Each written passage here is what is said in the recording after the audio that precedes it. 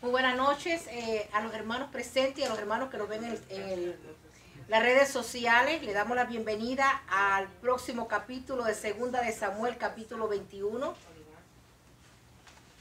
Segunda de Samuel, capítulo 21, venganza de los Gabaonitas. En el nombre de Jesús. Gloria a Dios. Pongámonos de pies, mis amados. Vamos a la reverencia a la palabra de Dios y los hermanos que están en las redes sociales pueden coger un papel y un lápiz y pueden coger los apuntes y más tarde después leerlos si pueden. Amén. La palabra de Dios se lee en el nombre del Padre, del Hijo y del Espíritu Santo. Amén. Segunda de Samuel está en el Antiguo Testamento. 21. Hubo hambre en los días de David por tres años consecutivos. David consultó a Jehová y Jehová le dijo, es por causa de Saúl y por aquella casa de, sangre, por cuanto mató a los Gabaonitas. Entonces el rey llamó a los Gabaonitas y les habló. Los Gabaonitas no eran de los hijos de Israel, sino del resto de los amorreos, a los cuales los hijos de Israel habían hecho juramento. Pero Saúl había procurado matarlos en, lo, en su celo por los hijos de Israel y de Judá. Dijo pues David a los Gabaonitas, ¿qué haré por vosotros? ¿O qué satisfacción os haré para que bendigáis la heredad de Jehová? Y los Gabaonitas le respondieron, no tenemos nosotros querella sobre plata ni sobre oro con Saúl y con su casa, ni queremos que muera hombre de Israel. Y él les dijo, lo que vosotros dijereis haré. Ellos respondieron al rey de aquel hombre, que os destruyó y que maquinó contra nosotros para exterminarnos sin dejar nada de nosotros en todo el territorio de Israel. Desen los siete varones de sus hijos para que los ahorquemos delante de Jehová en Gabá de Saúl, el escogido de Jehová, y el rey dijo, yo lo daré. Buenas noches, Padre, buenas noches, Hijo, buenas noches, Espíritu Santo. En esta noche hemos venido a tu casa de oración a buscar de tu reino y tu justicia. Hemos venido a recibir tu mensaje, tu palabra que tienes para nosotros en este día. Señor, te pedimos que nos dé recepción espiritual, que abra nuestros oídos espirituales para poder oír tu voz, Señor.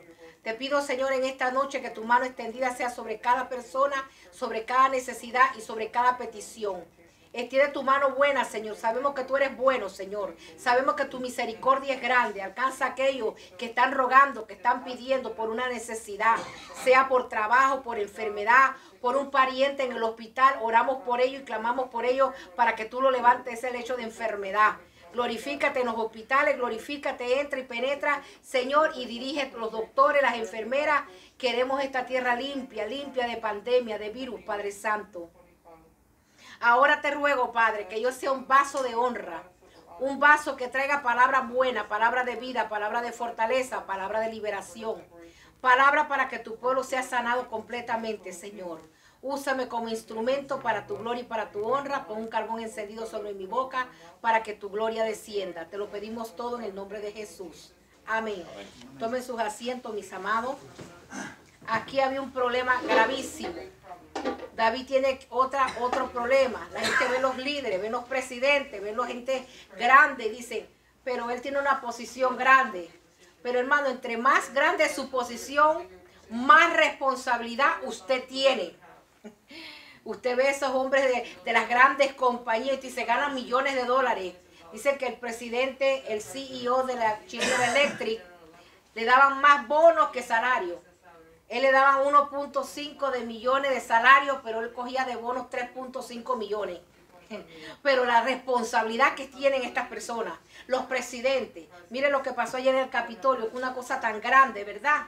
Y pedimos a esta, por la paz en esta nación, pedimos por la unidad, porque hay mucha confusión. La confusión hace que la gente haga cosas disparate. Esa muchacha no tenía por qué morir, pero bueno, se metió en territorio que no tenía que meterse. Y pedimos por su familia para que el Señor dé la paz en sus corazones. Amén. El Señor, vámonos ahora de aquí, pongamos algo ahí en 2 Samuel 21 y vamos a buscar quiénes son los Gabaonitas. Ellos eran del pueblo de Gabaón, descendientes de, de los amorreos Pero hubo un pacto anteriormente en el libro de Josué, capítulo 9, donde los pactos y los juramentos eran respetados. Cuando se hacía un juramento, era un juramento. Cuando se hacía un voto, era un voto. Ahora la gente no respeta ni juramento, ni pacto, ni votos, ni nada. Te dicen una cosa ahora y después hacen otra cosa.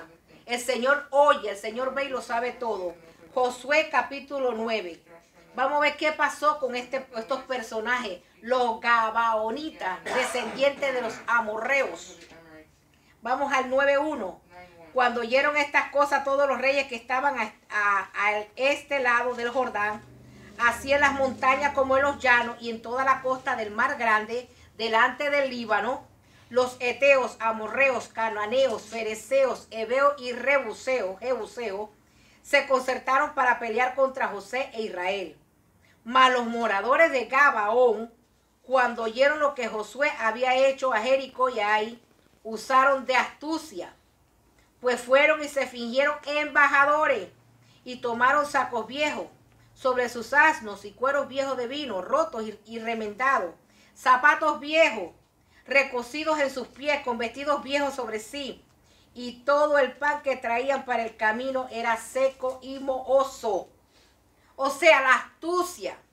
Sabemos que la astucia es algo engañador, mentira aunque hay astucia que la usan para, para, para salirse de ciertas cosas, ¿verdad? Pero eh, le tenemos que decir que la astucia que estos hombres usaron fue una mentira. Miren, hermanos, estos hombres vinieron con ropas viejas, rotas, el pan como si tuviera podrido, porque dice que era un pan mohoso. Mohoso es como, yo diría como verdoso, no sé zapatos viejos, rotos, la ropa desgarrada. Dieron a entender como que ellos venían de lugares muy lejos. Pero el problema era que ellos tenían miedo al pueblo de Israel, porque ellos habían oído lo que ellos habían hecho. En Jericó, como los muros se cayeron, hermano, que le dieron siete vueltas y en la siete última vuelta, por un pam pam, se cayeron los muros. Después vieron cuando ganaron la guerra de Ay, la primera vez no, pero la segunda vez sí ganaron la guerra de Ay. Ellos dijeron, hay promesa porque nosotros hemos oído. Hemos oído de lo que hablan de este pueblo. Este pueblo es un pueblo que viene de Egipto de, esclavitud. Este pueblo ha derrotado muchos pueblos. Y ellos tuvieron miedo. Nosotros no vamos a pelear con esta gente. Pero ellos tenían razón por la cual no iban a pelear con este pueblo. Y les voy a decir por qué. Vamos a números 21. Y después vamos a volver ahí. El libro de Números, capítulo 21, 35. Números a la izquierda, perdón, a la izquierda. Números 21, 35. Acuérdense que estamos hablando que la gente de, los gabaonitas eran descendientes de los amorreos, eran descendientes de ellos. Así que cuando el pueblo de Israel venía saliendo de Egipto, pasó el mar rojo y fue por el desierto, tenía que pasar por la tierra de los amorreos. Existía el rey Seón. El pueblo se le acercó, mire lo que le dijeron. En el número 21, 21, 21. Entonces envió Israel embajadores a Seón, rey de los amorreos, diciendo, pasaré por tu tierra, no nos iremos por los sembrados, ni por las viñas, no beberemos las aguas de los pozos por el camino real iremos hasta que pasemos tu territorio. O sea que ellos amistosamente trataron de pasar esos territorios. Imagínense que les pidieron, no les voy a tocar nada, no vamos a tomar de sus aguas, no vamos a pasar por sus sembrados, no vamos a dañarle nada, simplemente queremos cruzar hacia el otro lado. Y el rey de Seón, en vez de recibirlo con pan y agua, mire lo que hizo, el 23. Mas Seón no dejó pasar a Israel por su territorio, sino que juntó Seón todo su pueblo y salió contra Israel en el desierto y vino a Haza y peleó contra Israel. En vez de recibirlo con bien. Mira, vienen de Egipto, vienen de esclavos, vienen a pasar necesidades. Han estado tantos años en el desierto. Me están pidiendo amistosamente que yo pase. Pero en vez de que de recibirlo con los brazos abiertos, Porque antiguamente el pueblo judío y los pueblos eran así, recibían a los, alfa, los, forasteros y los recibían en casa, le daban de comida y al día siguiente se ya continuaban el camino. Esa era una costumbre en aquellos tiempos. Pero esta gente dijeron, no, no, no, a esta gente no lo vamos a recibir y más bien hicieron la guerra. Después imagine usted que usted pide un favor, un plato de comida y le hagan la guerra. Pero ellos dijeron, no lo vamos a tocar nada, ni las aguas. Imagínense, 6 millones de personas pasaron por ahí. Agua, no, no, ni los pozos te vamos a tocar, ni los sembradíos, solamente déjanos pasar, imagínate. Esa gente caminando por todo ese calor, cansancios, agotados. No voy a tocar nada, solamente déjame pasar. Y no, le hicieron la guerra. Pero entonces dice que el que busca haya. El pueblo de Israel primero fue pacífico. Ah, ¿quieres guerra? Pues vamos a tener guerra. Eso es lo que tú quieres. Eso es lo que vas a recibir. Mas no dejó pasar a Israel por su territorio, sino que juntó a Seón, todo su pueblo, salió contra Israel en el desierto y vino a Haza y peleó contra Israel y lo hirió Israel a filo de espada. Y dice, y tomó su tierra desde Arnón hasta Jaboc, hasta los hijos de Amón, porque la frontera de los hijos de Amón era fuerte. Y tomó Israel todas estas ciudades y habitó Israel en todas las ciudades de Amorreo, en Esbón y en todas las aldeas. Quiere decir que los gabaonitas sabían lo que había acontecido en aquellos tiempos. Ahora el pueblo de Israel está en guerra. ¿Por qué? Porque de que pisó la tierra de, de, de, de, Canaán, el Señor le dijo, estas tierras son propiedad tuya, yo te las regalo, yo te las doy. Yo no sé una vez con quién yo estaba hablando, mejor no que las tierras palestinos, que no sé qué no. El Señor entregó esas tierras desde que llegaron, salieron del, del desierto y las tierras de Canaán para ustedes son, son propiedades de ustedes. Vamos a buscar número 3350. ¿Qué dice el Señor de eso? Número ahí mismo 3350.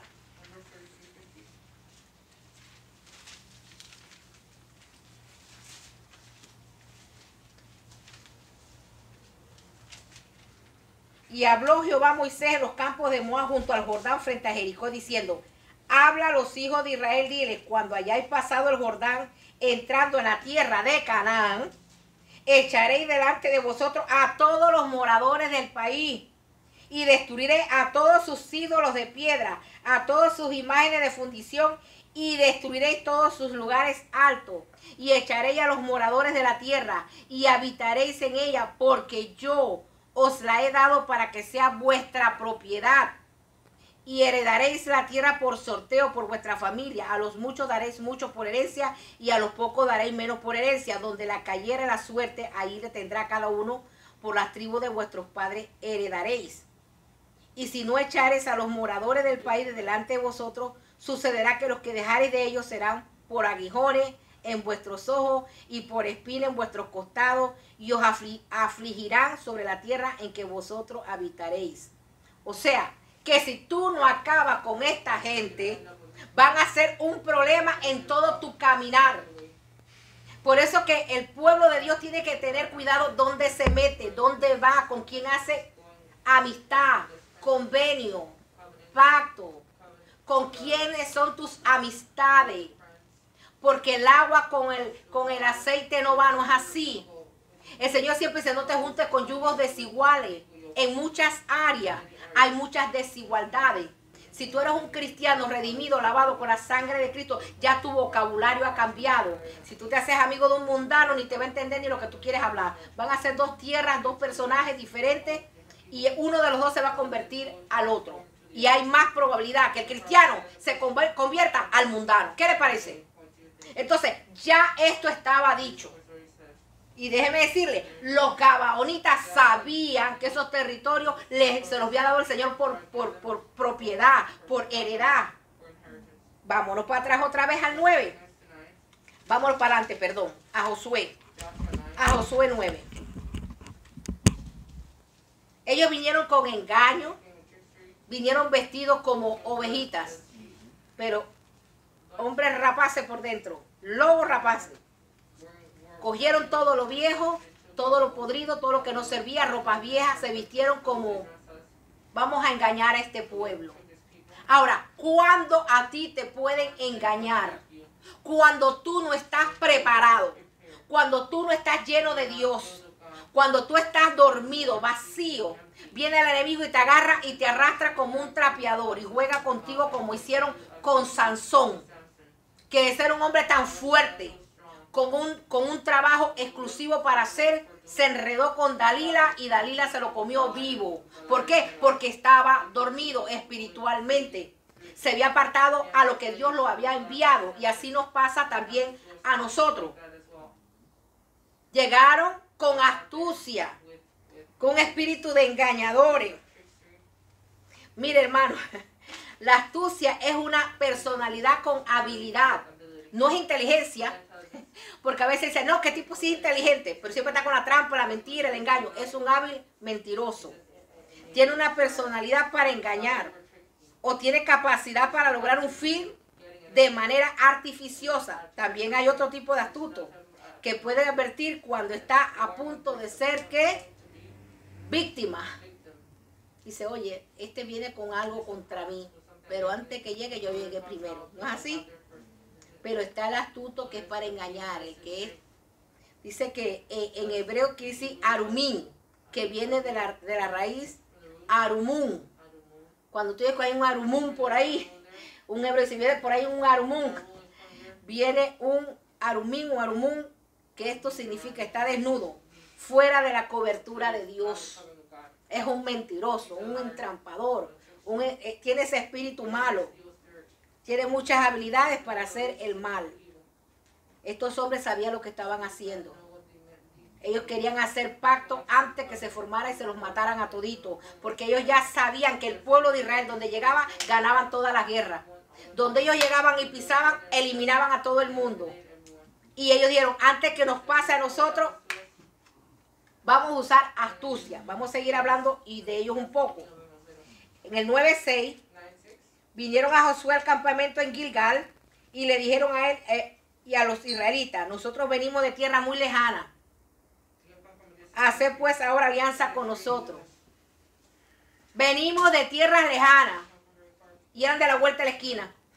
Astucia, mentira, engaño. Pero déjeme decirle lo que dice la palabra acerca de la alianza. Vamos al libro de Éxodo. Es el segundo libro del Antiguo Testamento. Quiero ver la gente con la Biblia en las manos. Aquí no me vienen a ver la cara, aquí venimos a aprender. Vamos a buscar Deuteronomio 7. Eh, perdón, perdón. Éxodo. Perdón, creo que es Deuteronomio. No, perdón, Deuteronomio 7, perdón. Deuteronomio 7. ¿Qué dice el Señor de las alianzas? Usted sabe que una alianza es un convenio, un pacto, un juramento. Cuando Jehová tu Dios te haya introducido en la tierra en la cual entrarás para tomarla y haya echado delante de ti a muchas naciones, al Eteo, al Jerjeseo, al Amorreo, al Cananeo, al Fereceo, al Ebeo y al Jebuseo, siete naciones mayores y más poderosas que tú.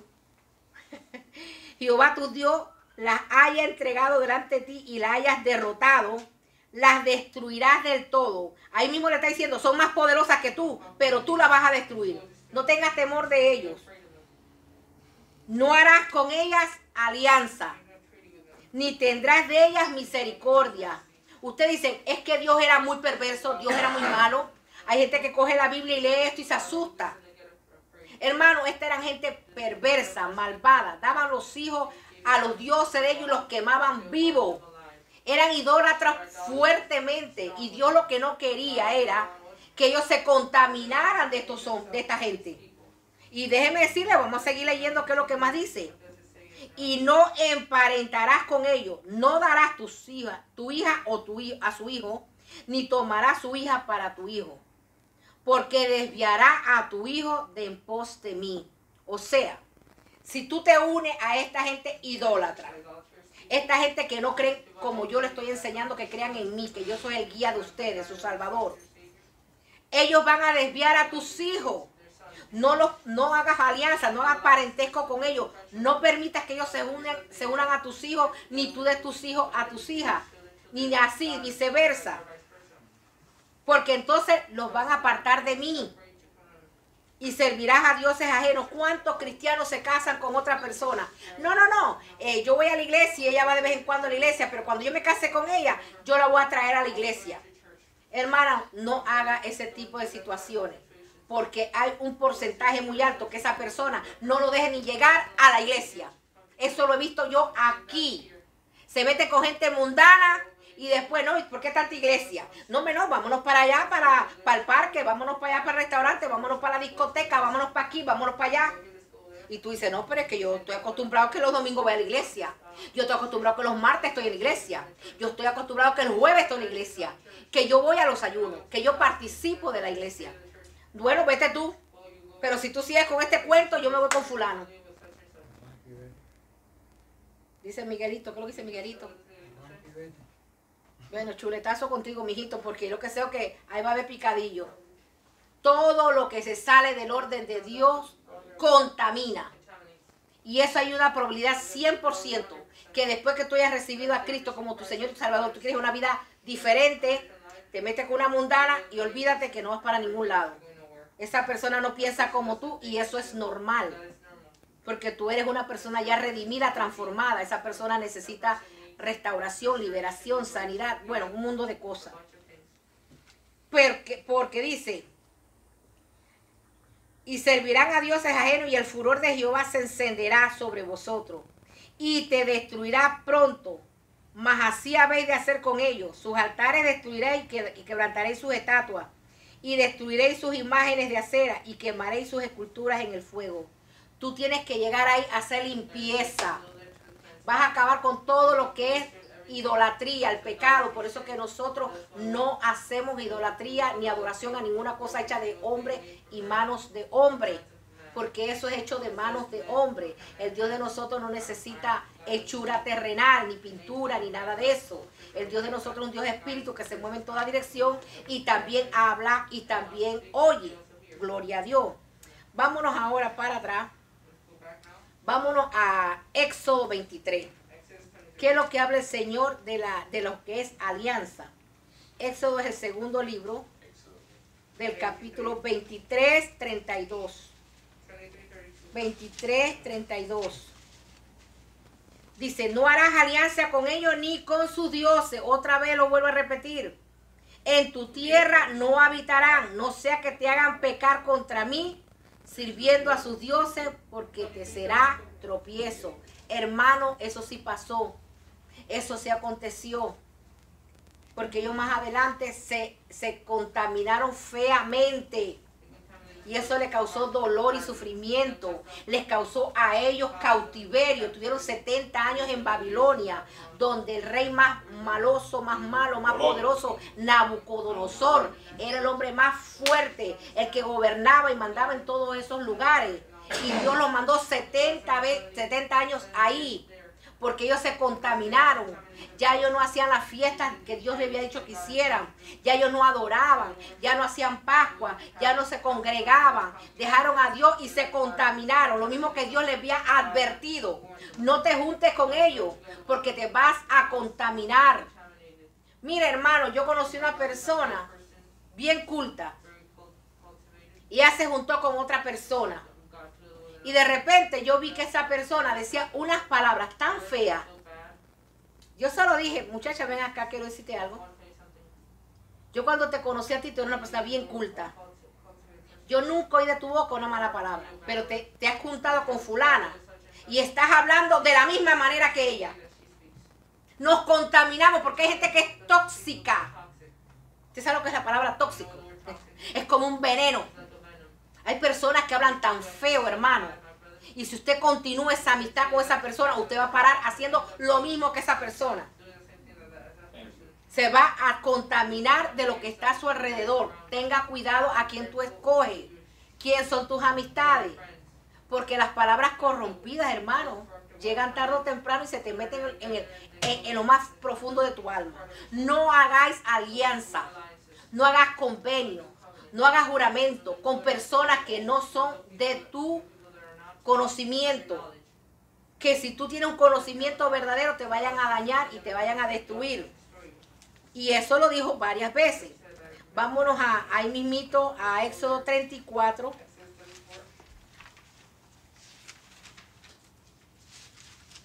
Del 12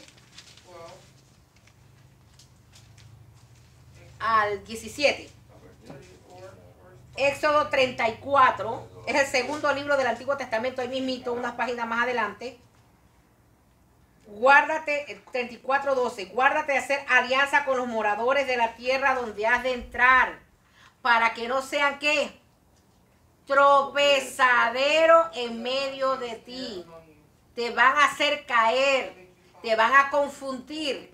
Tienen una cultura diferente a la tuya hablan diferente, están acostumbrados a una vida desordenada. Tú vienes en un camino que yo te estoy guiando, porque el desierto, los 40 años, no fue no era que no, ellos no necesitaban los 40, no. Es que Dios necesitaba que tuvieran los 40 años para instruirlo, para enseñarlo, para capacitarlo, para que ellos comenzaran a practicar lo que eran mandamientos, a ser oidores de la palabra y hacedores también.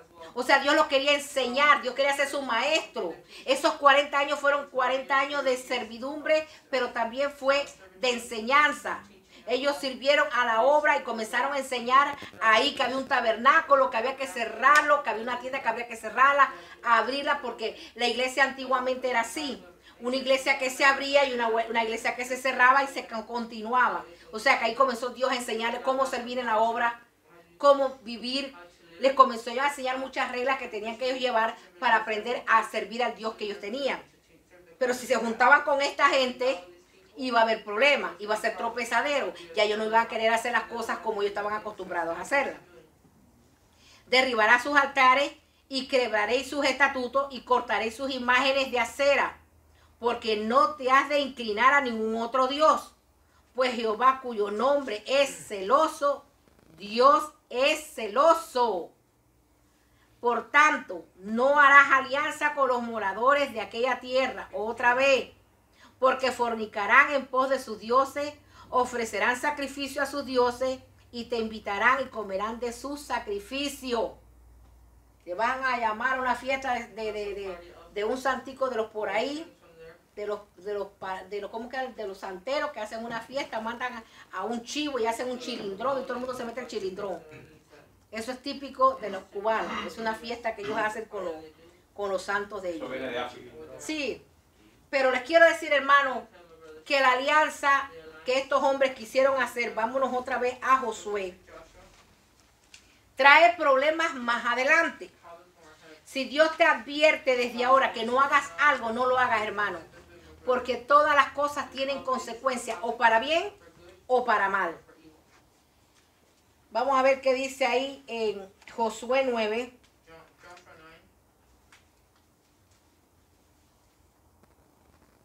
El 7. Y los de Israel respondieron a los hebreos, quizás habitáis en medio de nosotros. ¿Cómo pues podremos hacer alianza con vosotros? Ellos respondieron a Josué, nosotros somos tus siervos y Josué le dije, ¿Quién, ¿quiénes sois vosotros y de dónde venís? Ellos respondieron, tus siervos han venido de tierra muy lejana por causa del nombre de Jehová, tu Dios, porque hemos oído su fama y todo lo que hizo en Egipto y todo lo que hizo a los dos reyes de los amorreos que estaban al otro lado del Jordán, a Seón, rey de Esbón, y a Og, rey de Basán, que estaba en Astorat, Astorot. Por lo cual nuestros ancianos y todos los moradores de nuestra tierra nos dieron tomar en vuestras manos provisión para el camino e ir al encuentro de ellos y decirle, nosotros somos vuestros siervos, hacer ahora alianza con vosotros. Y ellos insistían porque ellos sabían que haciendo alianza ya no podían quebrantar el juramento. Ellos estaban jugando vivo, astucia, astucia. Cuidado con los astutos y los que se creen muy vivos. Este nuestro pan lo tomamos caliente en nuestra casa para el camino el día que salimos para venir. A vosotros, él aquí ahora ya, seco, mohoso. Y hasta le enseñaron. Mira, este es el pan viejo que traemos. Mira los cueros de vino. Mira, están ya rompiéndose, ya no sirven. Como si ellos venían tan lejos y van a pasar hambre. ¿Tú crees que tú no vienes desde lejos y no te comes el comido, la comida en la calle, en el camino? Va a dejar que se ponga viejo. Los agarraron dormidos. Dice, este, este nuestro pan lo tomamos caliente de nuestra casa para el camino el día que salimos para venir a vosotros. helo aquí ahora ya seco y mohoso. Estos cueros de vino también los llenamos nuevos. Helos aquí, ya roto. También estos nuestros vestidos y nuestros zapatos están ya viejos a causa de lo muy largo, de lo muy largo del camino. Y los hombres de Israel tomaron las provisiones de ellos y no consultaron a quién. No consultaron a Dios, no consultaron a Jehová. Por eso, hermano, no haga planes sin antes consultar con Dios. Se quiere casar, hable con Dios. Quiere comprar una casa, hable con Dios. Pídale dirección a Dios en todas las áreas de su vida, en las más pequeñas que usted cree que son pequeñas. Se pueden convertir en grandes problemas más adelante. Todo para todo, hermano. Para todo pídale dirección a Dios. Y así el enemigo no lo va a confundir. Estos hombres vinieron con un cuento que todo estaba viejo, que todo estaba roto, que veníamos de lejos. Y ellos en vez de tirarse, era un pueblo que conocía a Dios, que tenían una íntima relación con Dios, que ellos podían llegar a Dios, pero no lo hicieron. Confiaron en la palabra de la astucia, del engaño, de la mentira, y así nos pasa a nosotros. No consultaron a Dios y Josué hizo paz. Mire eso, hermano. Cuando Dios nos había mandado a hacer eso. Desde el principio, no hagas alianza. Elimínalos a todos. Esa tierra es tuya. Porque si los dejas vivos, tú eres el que vas a pasar el problema. Porque vas a aprender lo de ellos. En vez de ellos aprender lo tuyo, es más probable que tú aprendas lo de ellos.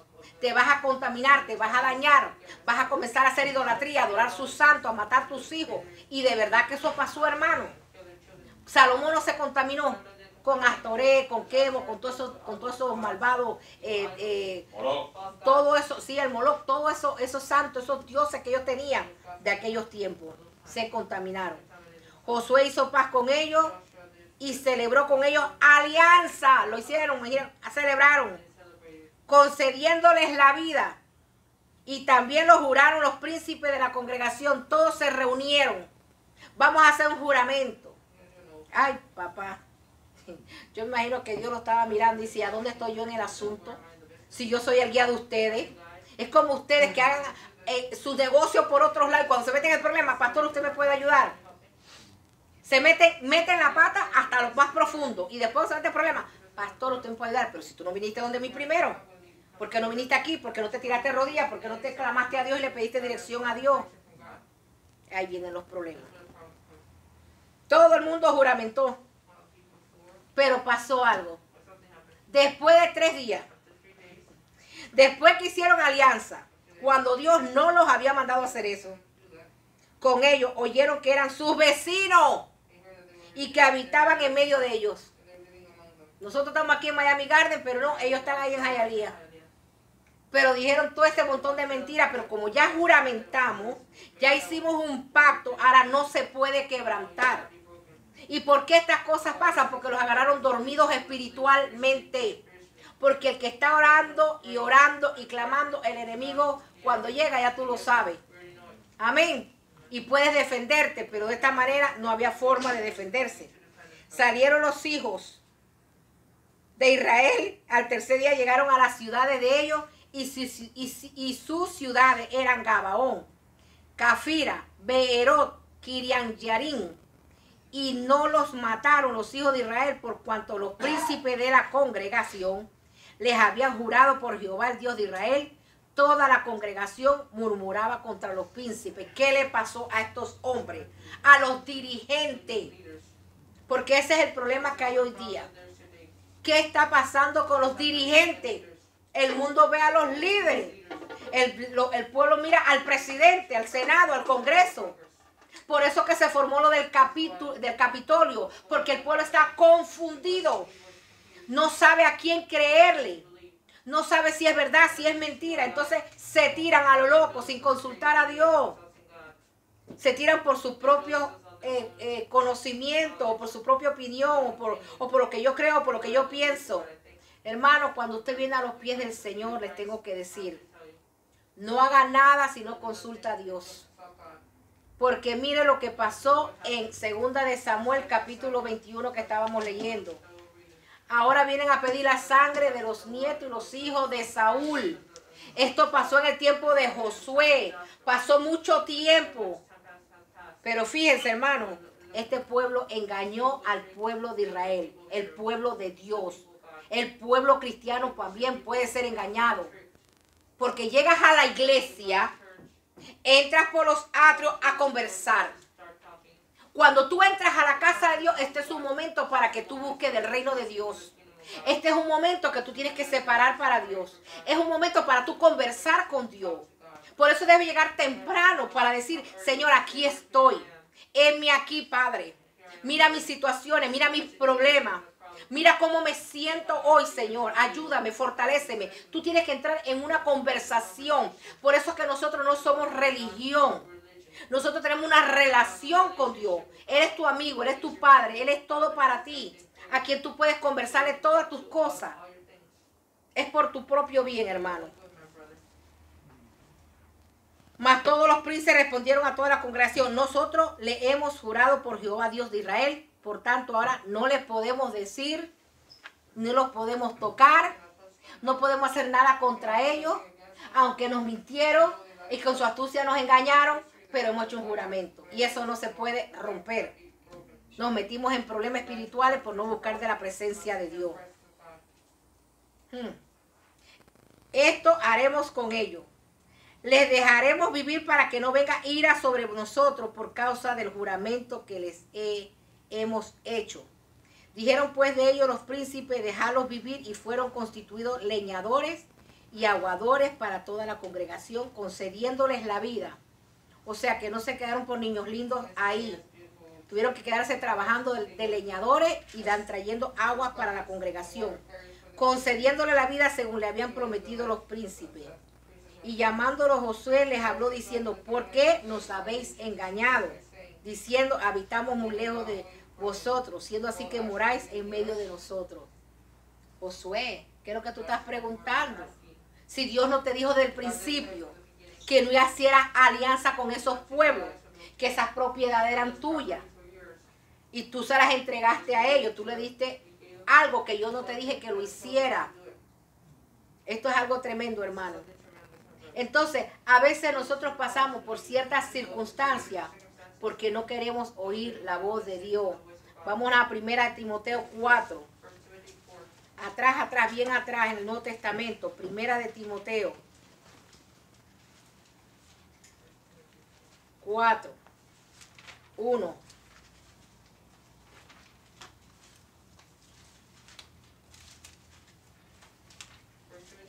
Pero el Espíritu dice claramente que en los postreros tiempos algunos apostatarán de la fe, escuchando espíritus de engañadores y a doctrinas de demonios. Vienen tiempos malos. Van a venir muchos engañadores, ya se están moviendo hasta dentro de la iglesia con prédicas que no son del Espíritu, que ya no se lee ni la Biblia. Ya la gente entra sin Biblia. Eso es un problema porque si usted no conoce su manual, su guía, ¿cómo usted se va a salvar de ciertas circunstancias? Nosotros nos pasamos hablando, hablando, hablando, diciendo, diciendo, hablando. ¿Cuánto no le advirtió Dios al pueblo de Israel? No hagas alianza con esta gente. Cuídate de ellos. Esta gente te van a hacer perder, te van a hacer tropiezo, te van a desviar. Incluso no de tu familia, tus hijos. Y el pueblo de Israel se unió a ellos, hermano, y comenzaron a hacer lo mismo que ellos hacían. Qué tristeza cuando se está diciendo aquí, no haga, no haga, no haga, y tú continúas en lo mismo.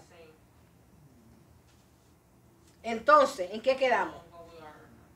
El Espíritu de Dios nos está hablando hoy. Vamos a 2 de Timoteo, capítulo 3, que dice ahí mismito en el segundo de Timoteo 3. Ay, Dios mío. Los hombres cada día serán más malos. Carácter de los hombres en los postreros tiempos. Postreros significa en estos tiempos. También debes saber esto que en los postreros días vendrán tiempos peligrosos. Porque habrá hombres amadores de sí mismos. Ávaros, vanagloriosos, soberbios, blasfemos, desobedientes a los padres, ingratos, impíos, sin afecto natural, implacables, calumniadores, intemperantes, crueles, aborrecedores de lo bueno, traidores, impetuosos, infatuados, dice, amadores de los deleites más que Dios. Hermano, sabemos que el tiempo se nos está acabando, pero ahora el pueblo de Israel está pasando algo. Vámonos otra vez a segunda de Samuel 21. El pueblo está, va a sufrir. Primero porque también Saúl trató de acabar con los Gabaonitas. Ya había hecho un pacto. Y Saúl mató a muchos Gabonitas y ellos se quedaron con eso. Acuérdense que en aquellos tiempos no era perdón, perdón, perdón, era la ley. Tú me mataste y hay que matarte. A lo tuyo, si tú no estás. Y ese fue el error de nuestro hermano Saúl. Tomó decisiones sin pensar que había un pacto, un juramento que no se podía romper, no se podía quebrantar. Ahora hay una hambre. Hay hambre en Israel. Tres años consecutivos de hambre. Cuando hay hambruna, cuando hay sequía en las naciones, sepa que es por el pecado. El pecado trae hambre, trae sequía en tu espíritu como en tu tierra. En el Salmo 107 dice que eh, la tierra es fructífera o es seca por medio de los que habitan.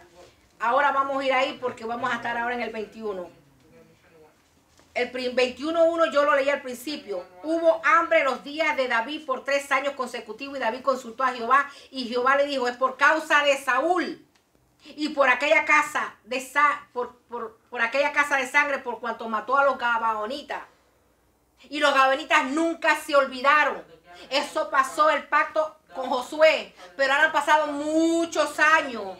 Ahora llega esta hambruna y el Señor viene el hermano el hermano le preguntó. Entonces el rey llamó a los gabonitas y les habló. Los gabonitas no eran de los hijos de Israel, sino de los restos de los amorreos. Pero David consultó a Jehová. ¿Por qué hay hambruna? ¿Qué está pasando? La hambruna, dijo el Señor, por causa de Saúl, que mató a los gabaonitas. Había un pacto, no se podía quebrantar. Ahora esas son las consecuencias que ustedes están pagando. A veces las consecuencias no las pagamos inmediatamente, pero hay un lapso de tiempo, ¿ok? Y en aquellos tiempos era la ley, no era la gracia. En la ley había que cumplirse lo que decía la ley.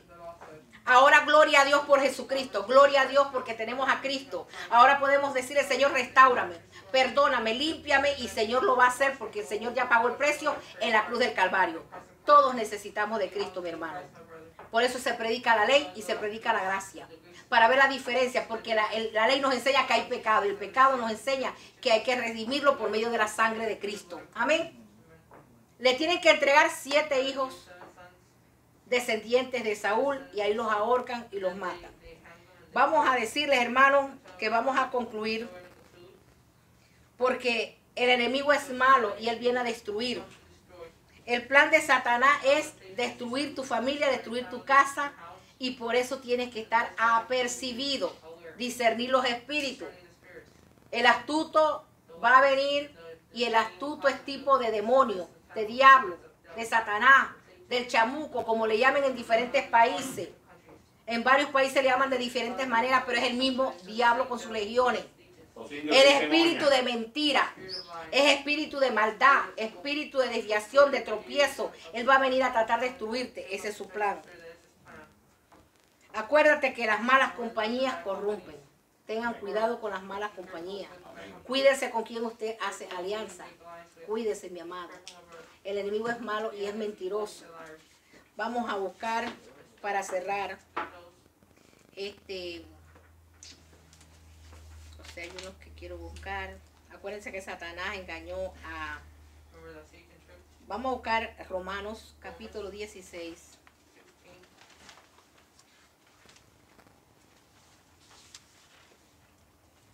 Tengamos cuidado con todas las personas, con todo lo que se mueve. Romanos 16, 17 dice así.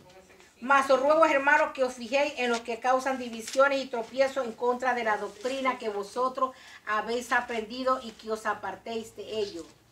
muchas doctrinas nuevas, muchas enseñanzas nuevas, mucho cuidado. Porque tales personas no sirven a nuestro Señor Jesucristo, sino a sus propios vientres. Y con suaves palabras y lisonjas engañan los corazones de los ingenuos. Hermanos, seamos sabios, seamos entendidos. El enemigo se mueve de muchas formas, de muchas direcciones. Y nosotros tenemos que estar despiertos. Amén. Pongámonos de pies. Amén. Gloria al que vive Santo Señor. Las consecuencias hay que pedir al Señor que nos guarde, que nos limpie y nos santifique. Padre, en esta noche te damos gracias porque hemos aprendido lo que es la astucia, lo que es la mentira, el engaño. Que nos guardemos de los tropiezos, que no hagamos alianza con todo el mundo. Que no todo lo que brilla es oro, Padre. Tú lo dices, guárdate de ellos porque ellos te van a desviar tu corazón. No seas ingenuo. Padre, en esta noche nos presentamos ante ti. Llénanos de tu presencia. No permitas que nadie nos engañe. Porque cuando estamos orando, estamos clamando, leyendo la palabra de Dios, estamos apercibidos, estamos despiertos, porque antes éramos oscuridad, ahora somos la luz de la tierra, la sal de la tierra. Ayúdanos a mantenernos firmes y que cuando viene alguna cosa que no es agradable a ti, que reprendamos y echamos fuera lo que no es del Espíritu Santo. Padre, te damos gracias por este día, bendecimos este pueblo y pedimos que haya tenido recesión para aprender lo que tú nos quieres decir en este día. Glorifícate, Padre, en todo lo que hagamos. Guarda nuestras entradas, guarda nuestra salida, guarda nuestro acostar y nuestro levantar. Gracias, Padre, Hijo y Espíritu Santo, y en el nombre de Jesús hemos orado. Amén. Estamos en victoria.